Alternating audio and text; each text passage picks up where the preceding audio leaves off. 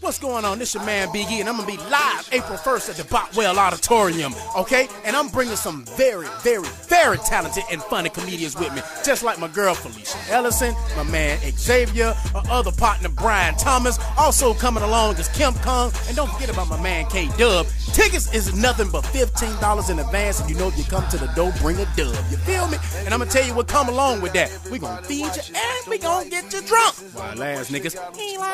Okay? And we got a special performance going down by my man Wallace Jr. Let me let y'all on a little something. I heard this nigga just got out. Bring security with you, you feel me? we'll see you April 1st, all right? You'll be a food missing.